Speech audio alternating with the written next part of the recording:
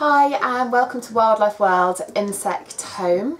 It's part of our urban range, so it's designed for contemporary living as it's got a sleek design. This product was initially designed by the guys in our workshop here when they noticed outside that the timber that was all stacked up was attracting lacewings that were hibernating in between the wood some of the insects that you'll be encouraging into this box are lacewings, ladybirds, solitary bees may take shelter in there and bumblebees as well. And these are all beneficial insects that we want to be encouraging into the garden.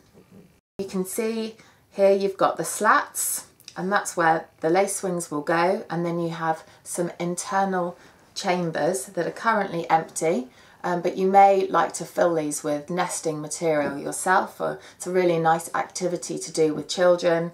So you can use things like hay or leaves, perhaps some twigs, as long as the material is dry and you can perhaps try and use different materials in each of the four corner chambers and then see which ones are most effective, which again is a really nice activity to do with young people. The outer shell of the insect home is made from Clayplas, which is a really durable material.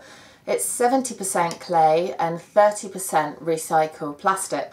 On the back there are two fixing points. The point in the middle is the one if you'd like it to be hanging square and then the one in the corner, the hanging point means it hangs diamond shape. It's important that you maintain this product as well so it needs to be kept in a clean state.